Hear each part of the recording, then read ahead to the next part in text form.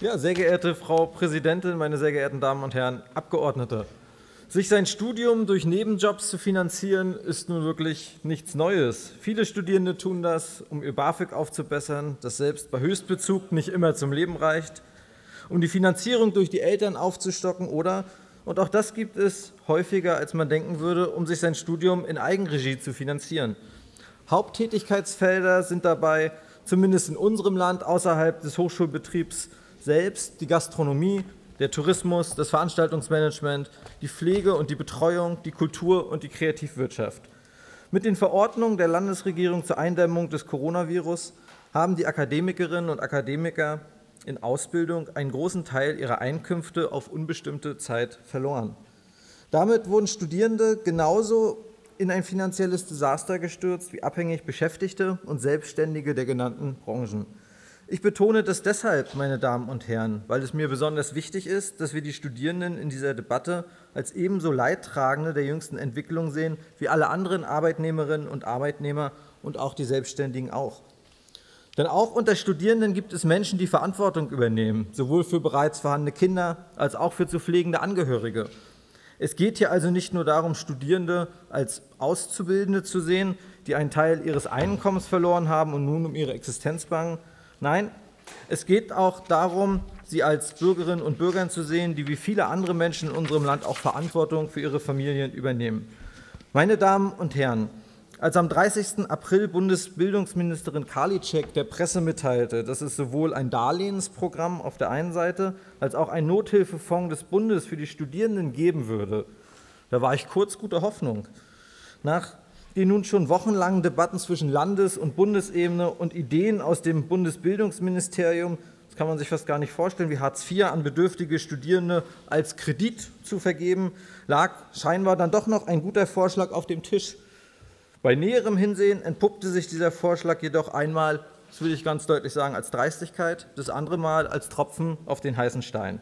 Die Dreistigkeit ist die, dass Studierenden, die gerade nicht wissen, wie sie Miete oder Essen im nächsten Monat bezahlen sollen, zinslose Kredite der Kreditanstalt für Wiederaufbau als Mittel zur Krisenbewältigung angeboten werden.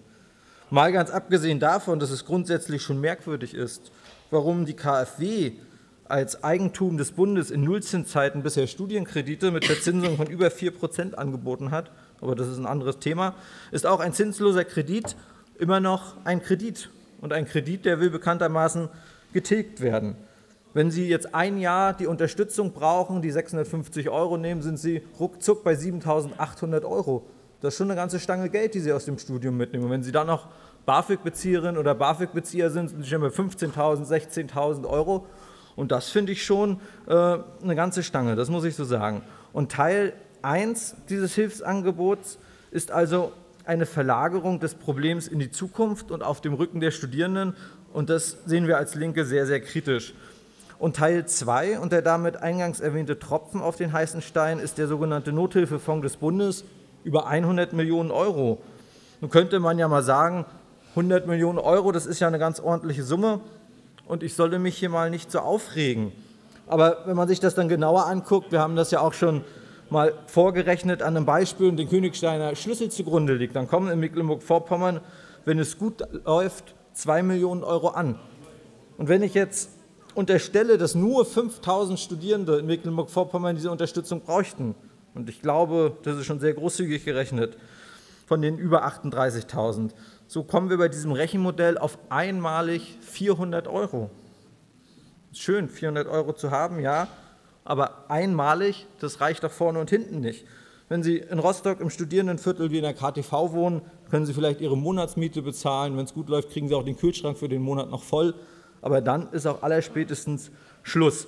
Und wenn man sich dann eine Umfrage des Asters der Universität Rostock anschaut, und das will ich hier einmal sagen, was die Studierendenschaften, die Organisierten in den letzten Wochen und Monaten an Arbeit geleistet haben, muss ich echt sagen, Hut ab. Also die haben gerödelt ohne Ende und das erkennen wir schon an. Sie haben auch eine Umfrage erstellt und da haben immerhin 3000 Studierende aus Rostock teilgenommen. Das ist schon äh, eine gute Zahl. Kam zu dem Ergebnis, dass bei 45 Prozent der Nebenerwerb der Studierenden ausgesetzt wurde, 15 Prozent deutlich weniger arbeiten und 15 weiteren Prozent gekündigt wurde. Also das sind schon deutliche Zahlen, die, glaube ich, deutlich machen, dass mein Rechenbeispiel sehr großzügig war mit den 400 Euro, wenn man die 2 Millionen anlegt. Laut letzter Sozialerhebung des Deutschen Studierendenwerkes liegt allerdings der monatliche Finanzbedarf, der monatliche, im Schnitt bei über 900 Euro im Monat pro Studierenden und bzw. Studierenden. Da ist es, wie bitte? Heidelberg wird höher sein als 900 Euro, da können Sie von ausgehen. Aber Greifswald und Rostock haben auch schon sehr ansprechende Preise, gerade auf dem Mietmarkt. Da kann Ihnen vielleicht der Kollege Peters das sicherlich bestätigen, dass das in Rostock auch schon sehr anständig ist und in Greifswald ja ähnlich. Äh, da ist es dann selbst erklärend, dass das Angebot des Bundes halt untauglich ist, die finanziellen Probleme der Studierenden anzugehen. Nein, meine Damen und Herren, auf den Bund können sich die Studierenden in dieser Frage wohl nicht mehr verlassen und auch nicht hoffen, noch eine Lösung zu bekommen. Da ist deshalb der Beschluss unseres Hauses gefragt.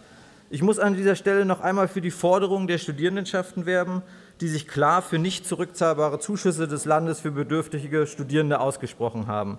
In diesem Sinne sei ja auch der Vorstoß des Bündnisses Soforthilfe für Studierende genannt. Meine Damen und Herren, im Bildungsministerium ist das Problem ja eigentlich auch bekannt. Und Sie haben ja auch in einem ersten Schritt 175.000 Euro Soforthilfe bereitgestellt und weitere 125.000 angekündigt für die Gruppe der Studierenden, die ohne ihre Nebeneinkünfte und ohne Familien vor Ort besonders hart getroffen sind, die internationalen Studierenden. Und so sehr ich das auch begrüße, ich finde es absolut richtig, diesen Schritt zu gehen, weil er auch geholfen hat, in der Krise erstmal zu überbrücken, müssen wir natürlich jetzt dahin kommen, ein Programm zu entwickeln, das alle Studierenden, die in Not sind, in den Blick zu nehmen. Denn tun wir das nicht, so werden doch viele zukünftige Ingenieurinnen und Ingenieure, Ärztinnen und Ärzte, Anwältinnen und Anwälte Lehrerinnen und Lehrer erstmal gar nicht in die Verlegenheit kommen, ihre Berufe auch auszuüben, weil sie im Zweifel ihr Studium abbrechen werden müssen. Das glaube ich sehr ernsthaft, Herr Renz. Und ich habe auch Beispiele, die ich. Es gibt konkrete Ankündigungen, selbstverständlich. Was meinen Sie, wenn Sie vollkommen auf einen Nebenerwerb angewiesen sind und seit Mitte März kriegen Sie kein Geld mehr? Dann geht Ihnen aber, um das mal auszudrücken, hochparlamentarisch der Arsch auf Grundeis. Das will ich Ihnen mal so sagen. Und dann kann man diese Zwischenräume diese Zwischenrufe nicht verstehen. Ein, einen Moment bitte, Herr Kolbe, ein, einen Moment bitte. Erstens, ich kann den Redner kaum noch verstehen. Es ist ein starkes Gemurmel hier im Raum und bitte keine Zwiegespräche führen. Der Redner hat jetzt das Wort. Herr Kolbe, Sie können fortfahren. Vielen Dank, Frau Präsidentin. Treffen wird es vor allem wieder zuallererst die Studierenden, Herr Renz, und da sind wir dann dabei, die eben keine Eltern haben, die ihnen über die finanziellen Sorgen hinweghelfen können. Handeln wir nicht, so wird die Corona-Krise also auf lange Sicht auch den Fachkräftemangel ein wenig weiter verschärfen. Er wird auch, und das ist eine viel größere Sorge für mich, er wird auch eine sozial deutlich unausgeglichenere Studierendenschaft in Mecklenburg-Vorpommern organisieren. Das werde ich Ihnen sagen. Das wird da hinten mal rauskommen. Meine Damen und Herren, ich denke, die Risiken, die mit dem durch die Corona-Krise finanziell begründeten Studienabbruch einhergehen, sind für Mecklenburg-Vorpommern nicht akzeptabel und würden die soziale Spaltung im Land weiter vorantreiben.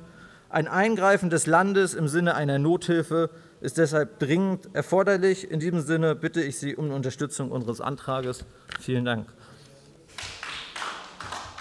So, sehr geehrte Frau Präsidentin, sehr geehrte Damen und Herren, das war ja eine lebendige Debatte. Das war schon mal schön. Ich würde gerne auf den einen oder anderen Punkt eingehen, der aus meiner Sicht dann doch nicht so richtig greift. Frau Martin, Sie haben gesagt, Sie sehen vor allem den Bund in der Pflicht und sagen, als Land können wir da nicht so wirklich was machen und sollten wir auch nicht machen, weil wir haben auch genug zu tun. Das ist natürlich ein Stück weit Inkonsistenz, weil auf der einen Seite haben wir als Land, glaube ich, eine der größten Rettungsaktionen überhaupt des Bundeslandes, einen riesen MV-Schutzschirm aufgespannt über 1,1 Milliarden Euro, wo wir verschiedenste Bereiche, auch Bereiche, die den Bund betreffen und auch Bundesprogramme teilweise ja kofinanziert haben und auch damit unterstützt haben mit eigenem Landesgeld. Zum anderen haben Sie ja selber angesprochen, ich habe es ja auch erwähnt, haben wir ja bereits als Land selber bis zu 300.000 Euro bereitgestellt, um zu unterstützen. Und ich glaube, wir reden momentan auch über ein Landeskurzarbeitergeld. Ob das dann kommt, werden die nächsten Tage und Wochen vielleicht zeigen. Aber ich glaube, es wird doch deutlich, dass dort, wo der Bund nicht ausreichend unterstützen kann oder unterstützen will, wir temporär an der einen oder Stelle als Land doch auch gefordert sind, doch noch punktuell auch nachzusteuern. Und das sehen wir bei dem Nothilfefonds eindeutig so gegeben. Es wurde von verschiedenen Seiten gesagt, eigentlich sind ihre Forderungen ja erfüllt. Es gibt diesen Nothilfefonds schon. Ich glaube, Herr Peters hat das gesagt, Herr Stamer hat es auch gesagt.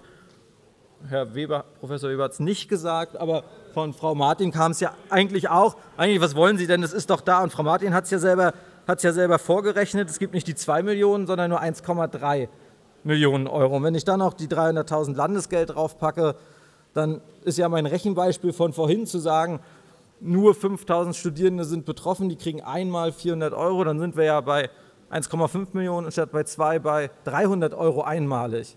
Und ich glaube, das ist hier deutlich geworden, auch bei den verschiedenen Rednerinnen und Rednern, die ja die Probleme der Studierenden in besonderen Notlagen ja durchaus anerkannt haben, dass das im Zweifel nicht reichen wird. Und wenn diese Debatte hier dazu führt, dass wenn wir uns den Nothilfefonds angucken, wir kennen ja die Ausführungsbestimmungen noch gar nicht im Detail, wir wissen ja noch gar nicht, wer unter welchen Bedingungen wann wie viel bekommt. Ich hoffe, das passiert bald, weil wir hatten ja Mitte März sozusagen die Krise begonnen, zwei Monate sind um. Da sind selbst kleine Sparbeträge, die die Studierenden an der einen oder anderen Stelle vielleicht generieren können, dann spätestens aufgebraucht. Und ich würde mir wünschen, wenn der Nothilfefonds des Bundes sozusagen alle ist, dass wir spätestens dann darüber reden, dass wir als Land das doch noch mal aufstocken können, damit wir nicht sagen, es gibt einmal 300 Euro und habt ihr Pech gehabt, weil dann können wir die 300 Euro auch behalten, weil das bringt dann am Ende des Tages nichts. Verzögert sich die Not nur noch um ein paar Tage. Dann, Professor Weber hat sehr, sehr, sehr viel gesagt. Unter anderem haben Sie gesagt, die digitale Lehre bietet jetzt ja auch die Chance, flexibler zu studieren und äh, die Möglichkeit der Studierenden, ähm, mehr arbeiten zu können.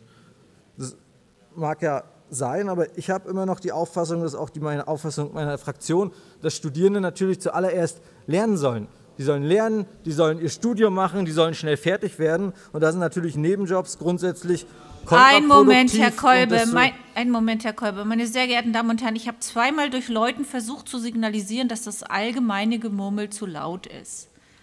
Auch der letzte Redner hier hat das Anrecht, genauso wie der erste Redner an einer Landtagssitzung, äh, die nötige Aufmerksamkeit zu erfahren und seine Rede einigermaßen ungestört zu halten. Ich bitte doch um wirklich genügend Disziplin. Bitte schön, Herr Kolbe. Ja, vielen Dank, Frau Präsidentin. Dann vielleicht noch einen zweiten Punkt. Sie haben eine Ungerechtigkeit in unserem Förderprogramm ausgemacht. Sie haben gesagt, was ist denn nun, wenn ein Studierender, der hat nicht keinen Nebenerwerb gehabt und die Eltern haben bisher äh, sozusagen das Studium finanziert und nun rutschen sie in Kurzarbeit oder verlieren sogar ihren Job. Das sind ja durchaus reale äh, Beispiele, die heutzutage passieren.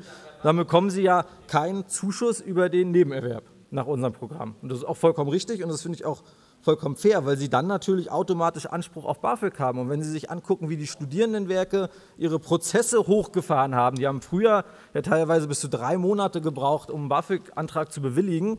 Neulich konnten wir lesen, das Studierendenwerk in Rostock, was für Rostock und Wismar zuständig ist, schafft das mittlerweile in zwei Tagen. Also eine Riesenbeschleunigung. Und ich glaube, wenn dort Eltern in Kurzarbeit geraten oder auch ihren Job verlieren, dann kann dort auch schnell nachgesteuert werden. Dass dann das BAföG im Zweifel nicht reicht, weil wir über eine grundsätzliche BAföG-Debatte reden würden. Das wäre auch mal ein größeres Thema, das haben wir hier bewusst rausgelassen, weil dass das BAföG reformierbar ist, das steht aus unserer Sicht außer Zweifel. Ja, dann gucke ich mal einmal auf den Zettel. Herr Peters, Antrag erledigt, Nothilfefonds, deshalb bin ich darauf eingegangen als wesentlichen Punkt. Und ja, Herr Stamer, Sie haben ja im Endeffekt auch gesagt, es ist eine Lösung, nicht ideal, aber es ist eine Lösung. Deshalb nochmal mein Appell, dann schauen wir uns diesen Nothilfefonds des Bundes jetzt an und haben wir dann auch die Flexibilität, wirklich zu sagen, als Land, wenn der alle ist und wenn wir merken, es sind noch Studierende da, die wirklich in Not sind, das dann doch noch als Land kurz zu subventionieren, damit da hinten dann doch keiner rausfällt und damit wir keine Studienabbrüche haben. Weil ich glaube, das ist was, was wir alle nicht wollen. Wir haben so viel Fachkräftemangel auf verschiedenen Themen, will ich jetzt gar nicht alle nochmal wiederholen. Und ich glaube, da sind wir als Land, steht uns das gut zu Gesicht, da dann in der Not wirklich zu helfen. In dem Sinne nochmal der letzte Versuch. Vielleicht stimmen Sie dann doch jetzt zu und wenn nicht, behalten Sie das Thema sehr eng im Auge, sehr eng im Blick und lassen Sie die Studierenden nicht hängen. Vielen Dank.